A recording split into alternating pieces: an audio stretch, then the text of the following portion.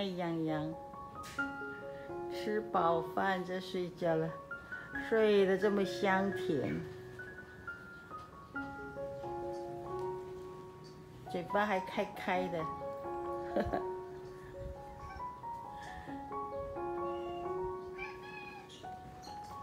Hello，大家好，我是爱猫咪、爱多肉的凉，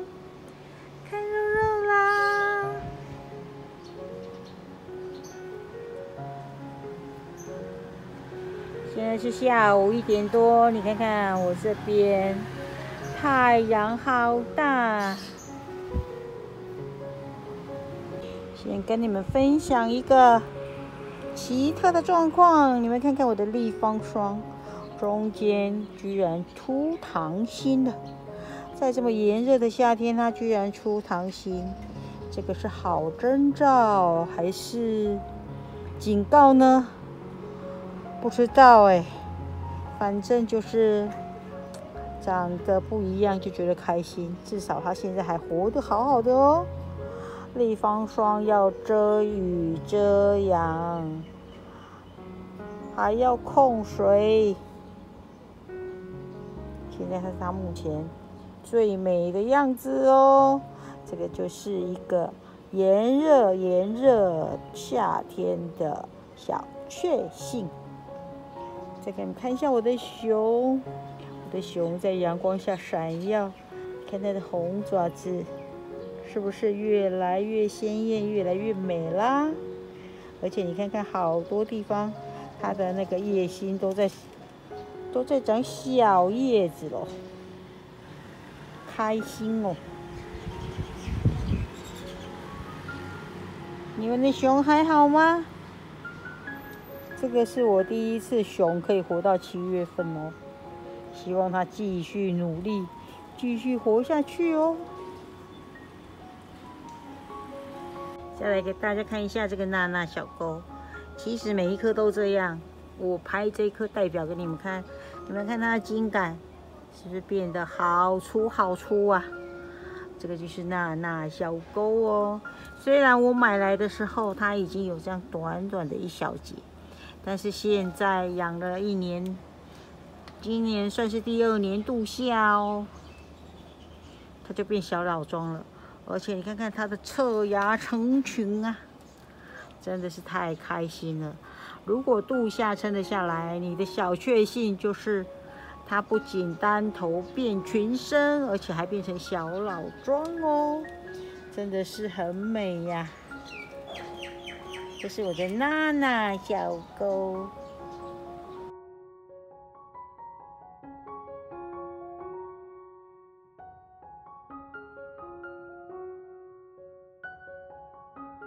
在这个是蓝石莲。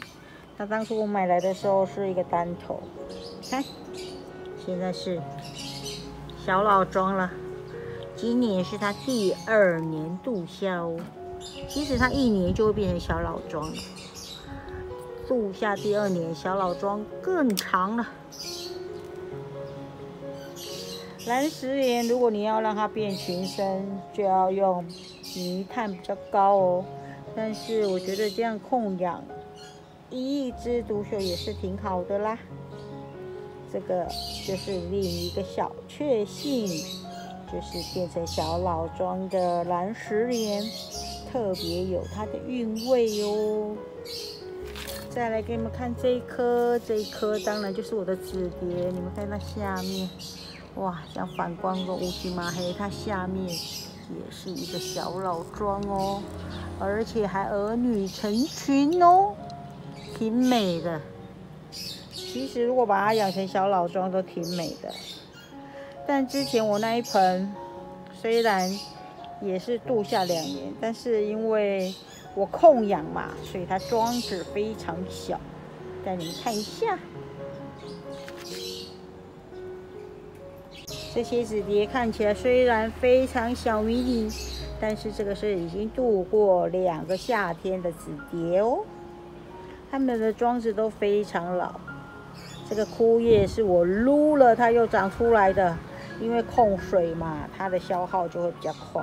因为天气非常炎热，这个是小老庄紫蝶，它真的是小老庄，小迷你，是不是很可爱呀？你不要以为它小，就是年纪小，它事实上今年要度过第三个夏天。这个是紫蝶，紫蝶度夏的时候就是这样拼命的消耗它的叶片。然后拼命长小侧芽，那因为这一盆泥炭比较少，所以它就长比较少的小侧芽。可是这些当初我买的的时候都是单头单头，那这些有些就是直接从这上面掉下来，我扦插在旁边的。这是紫蝶小老庄，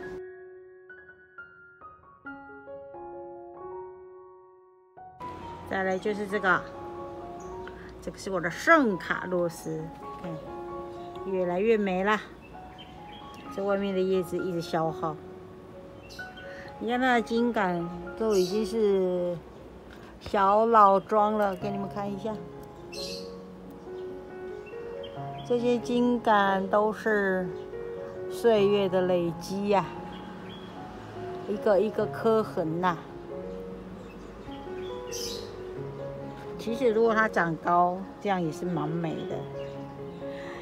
这个圣卡要长侧芽非常不容易啊，当然也是会长啦，但是就是非常不容易。但是我现在觉得它小老桩也挺好看的。我这个也是种的很深哦，你看这个盆，它茎杆在盆下面应该也有这么长。可是如果茎杆出问题，你就把它剪掉，重新扦插。目前这个小老桩还是挺美的哦，这个就是有度过夏，撑得下来的，就是美。再来就是这个，这个是我的红粉佳人，它最近耗叶有些严重。这盆也是今年算是第二年度夏，这是我重新扦插自己培育的宝宝长出来的哦，你看。看我的红粉佳人美不美呀？这个现在也是小老桩。你们的多肉如果度夏顺利，它就会变得像小老桩，越来越美，越来越有它的味道哦。好美的红粉佳人呐！再来给你们看一下这个。这是东美人的小老桩，哎，每次东美人的小老桩就是长着长着，然后它这两个头太重了，它就会变这样，从中间就自己断裂，然后断裂，如果你没有处理，它就会有一点黑黑的，像这个都要拔下来，然后直接把它剪掉，再重新扦插，我就直接把它拔下来喽。哇，掉了好多叶子，那叶子都可以叶孵成小小的东美人。东美人就是这样在讨厌啊，它茎杆非常容易就这样，因为它这个头，其实这本来是一个头，然后分心分心，太重了就会变这样。然后这个黑黑的，把它修剪掉就好了，好丑哦。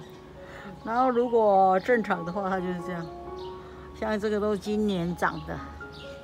然后这一颗呢，时间虽然比较久，但是还没有度过夏就是这样嫩，还没不能度夏，它就会变这样。